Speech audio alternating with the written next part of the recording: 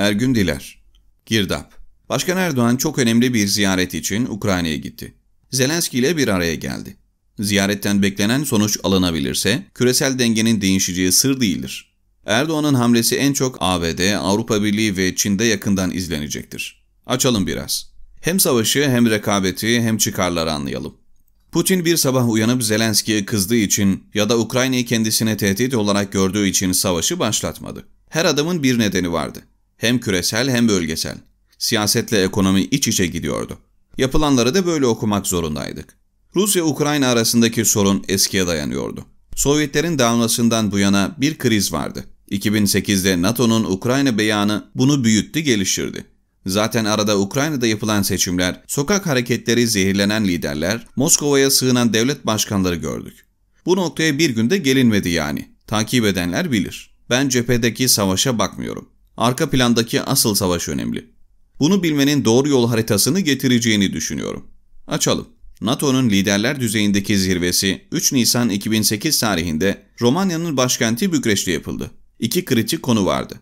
Ukrayna ve Gürcistan'ın NATO'ya üye alınıp alınmayacakları. Çeşitli nedenlerden dolayı alınmadılar. İki ülkenin de Kremlin'le sıcak teması vardı. Sıkıntı büyüktü, ertelendi. Ukrayna ve Gürcistan konu olsa da asıl mesele Avrupa Birliği ile Çin'di. Çünkü iki ülke bu eksendeki en önemli trafiğin yaşanacağı koordinatları işgal etmekteydi. Kiev'deki iç dalgalanmalar önce karışıklığı, sonrasında Rus müdahalesini getirdi. Tarihler 2014'ü gösterdiğinde Kırım gibi çok kritik önemdeki toprak parçası artık Rusya'nın kontrolündeydi. ABD ve Avrupa sesini yükselse de küçük küçük yaptırımlarla kapıya gelseler de işlem tamamlanmıştı. O zaman diliminde herkes Kırım'a odaklanırken aslında arka planda önemli bir ekonomik hamle yapılmaktaydı. Avrupa Birliği Çin'le ekonomik bütünleşmeye gitmek istediğini ilan ediyordu. Bu ABD'ye karşı kılıç çekmekten başka bir şey değildi. Avrupa ile Çin arasında günde 1 milyar euroluk alışveriş oluyordu. Bu çok daha stratejik konuları kapsayacak hale gelecekti. Kremlin Kırım'a daldı. İlk uyarıyı verdi. Elbette sahnede ABD yoktu. Ancak bütün sonuçlar Washington'ın istediği gibi gelişiyordu. Garip olan buydu. Avrupa ilk uyarıyı alıyordu. Ancak durmuyordu. Aradan 5 yıl geçiyor, bu kez Avrupa Birliği vitesi artırıyor, kaldığı yerden tüm hızıyla devam edeceğini gösteriyordu. 2019'da zaten Çin, Avrupa Birliği'nin en büyük ikinci ortağı olmuştu. Arada devamlı gelişen bir ticaret vardı. 2020'de önemli bir adım atılıyordu. Çin Devlet Başkanı Xi, Avrupa Birliği Konseyi Başkanı Charles Michel, Avrupa Birliği Komisyonu Başkanı Ursula von der Leyen ve Avrupa Birliği dönem başkanı Almanya'nın Başbakanı Angela Merkel'in katılımıyla video konferans yöntemiyle bir zirve gerçekleşiyordu.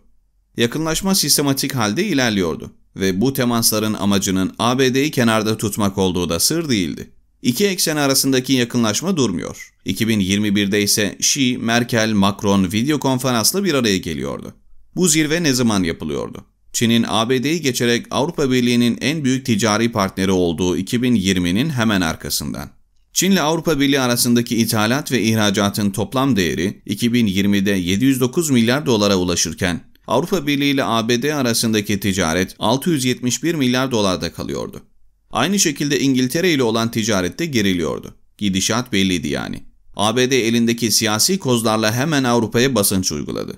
Avrupa Parlamentosu Çin'le yapılan yatırım anlaşmasının onay sürecini askıya almak zorunda kaldı. El altından yakınlaşma sürse de Washington'ın baskısı görülmeyecek gibi değildi. İşte iki eksen arasındaki bu yoğunlaşma ABD için ekonomik çöküşü de işaret ediyordu. ABD 5G ve Huawei üzerinden dünyanın her yerinde Çin'e baskı uygulasa da özellikle Merkel geri adım atmıyordu. 5G nedeniyle koca patronların helikopterleri düşerken Almanya bildiği yoldan ilerliyordu ABD'ye rağmen. Trump Çin'e yükleniyor ve her yerde bu böyle gitmez diyordu. Şimdi Florida'daki malikanesine baskın düzenleyen güçlerin Davos merkezli küreselciler olduğu ileri sürülmekteydi. Avrupa Çin'le ticari yakınlığı yukarı çektikçe iki eksende ABD'den uzaklaşıyordu. Kendileri için yeni bir yol kuruyorlardı. Kaybeden de apaçık ABD olacaktı. Ticari birlik siyasi sonuçları getirecekti. Bunu görmek için strateji uzmanı olmaya gerek yoktu. ABD hala NATO'da güçlü, NATO'da Avrupa Birliği de etkiliydi. Bu rüzgarlar altından sudan bir bahaneyle Rusya'nın 2014'te yaptığı gibi Ukrayna'ya dalması gerekiyordu. Daldı da. Gelinen noktada Avrupa enerji kriziyle baş başa kaldı. Ekonomik zorluklar başladı. Alışık olmadığımız görüntüler ortaya çıktı. Marketlerde ayçiçek yağı ve ekmek sıkıntısı başladı. Önümüz kıştı. Doğalgazın fiyatını Ruslar artırıyordu. Gaz fiyatı yukarı doğru tırmansa da gaz kesintileri başlıyordu. Özellikle başta Almanya olmak üzere pek çok Avrupa Birliği üyesi ülke kışın nasıl geçeceği konusunda kara kara düşünmekteydi. Almanya ve Fransa Çin'de çok güçlüydü. Otomobil, kimya, iletişim, sağlık endüstrileri, bankacılık ve ulaşım önde oldukları alanlardı. Yatırım anlaşmalarıyla bunu çok daha genişleteceklerdi. Ancak savaş bekledikleri bir gelişme değildi. Putin sahne aldı, oyunu bozdu. Avrupa'nın tüm dengesi gitti. Beyin ölümü gerçekleşti dedikleri NATO'nun kucağına düştüler. ABD stratejik bir hamleyle gidişatı durdurdu. Rusya kartını gizliden gizliye kullanan ABD, şimdi Sırbistan, Kosova ve Gürcistan'da hareketlenme başlatır mı? Büyük ihtimalle evet. Çünkü Avrupa'nın Çin'le temasını azaltması, en aza indirmesi, kontrol edilebilir düzeye gelmesi istenmekte. Bu nedenle İpek yolu üzerindeki kritik ülkelerde atılacak adımlar sürpriz olmaz. İşte bu çevreleme nedeniyle Avrupa'nın 2023'te burada muhalefetin iktidara geldiğini görmek isteyecektir. Çabası da bu yönde olacaktır. Dışarıdaki gelişmeler içerideki şartları oluştururdu. Bunu unutmadan olaylara bakmakta fayda var. Not: Çin 15 Kasım 2020'de Asya'da 10 ülkeyle Brunei, Kamboçya, Endonezya, Laos, Malezya, Myanmar, Filipinler, Singapur, Tayland ve Vietnam bölgesel kapsamlı ekonomik ortaklık anlaşmasını imzaladı. Birkaç ay sonra da Avrupa Birliği ile kapsamlı yatırım anlaşmasını. Avrupa hem Çin'e hem de Asya'ya yelpaze gibi yayılacaktı. Bunu gören ve hamle yapansa ABD oldu. AUKUS da buna karşı bir hamleydi. Ergün Diler Abdullah Muradoğlu ABD ve Çin üzerinde bir hayalet dolaşıyor.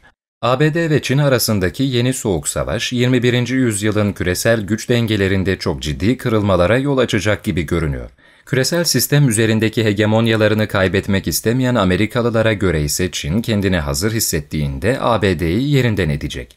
Amerikalı stratejistler ABD-Çin rekabetine tarihsel dayanaklar oluşturmaya da çalışıyorlar. Profesör Donald Kagan başta olmak üzere birçok tarihçi Antik Yunan'da Sparta ile Atina İmparatorluğu arasında savaşla sonuçlanan rekabeti Soğuk Savaş dönemine uyarlamıştılar. Neokon tarihçi olarak bilinen Kagan'ın ilham kaynağı 2400 yıl önce Atinalı General Tukidides tarafından yazılan Peloponnesos Savaşları tarihiydi. Tukidides bu savaşları Atina'nın yükselişinin Sparta'da uyandırdığı korkuya bağlar.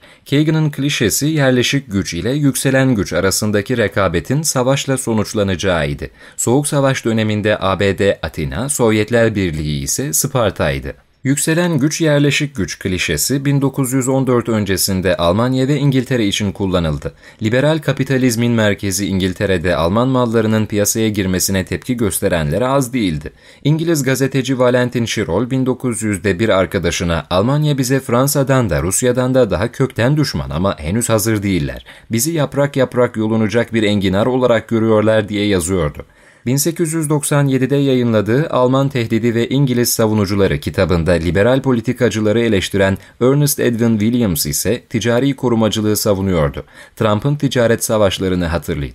Alman korkusu İngiliz romanlarına da yansıyacaktı. Erskine Childers'ın 1903'te yayınlanan Kumların Bilmecesi romanında İngiltere Alman istilasına maruz kalıyordu. William Lecoux'un 1910 işgali romanı ise Almanya'nın yükselen deniz gücü karşısında İngiltere'nin zayıfladığı etrafında dönüyordu. Daily Mail gazetesi romanı dizi olarak yayınladı. İngiliz tarihçi Margaret Macmillan, Barış'a Son Veren Savaş kitabında bunları detaylarıyla anlatıyor. ABD'de savunma ve güvenlik politikalarında etkili bir analizci olan Profesör Graham Allison, Profesör Kagan'ın klişesini geliştirerek 2011'de Tukidides tuzağı kavramını ortaya attı. Allison son 500 yıllık tarihte bu tuzağa örnekler aradı.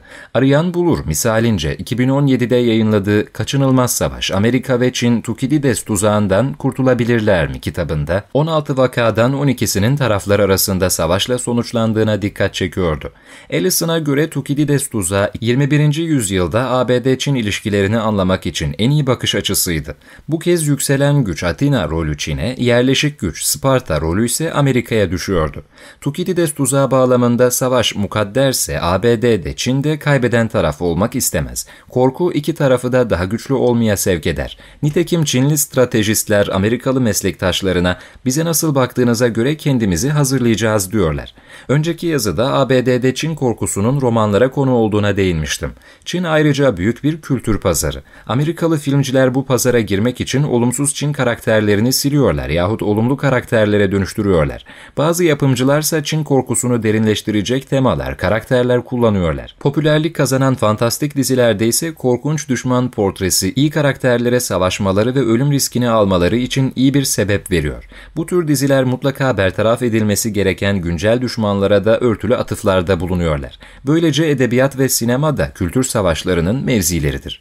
Çin karşıtı Şahinlere göre Çin'in yükselişi sözde kurallara dayalı dünya düzenini de tehdit ediyor. Şahinler Çin'le ilgili sıradan gelişmelere bile stratejik önem atfediyorlar. Diplomatik, ekonomik, teknolojik, askeri, ideolojik ve kültürel aygıtları devreye sokarak Çin'e karşı cepheyi büyütmek istiyorlar.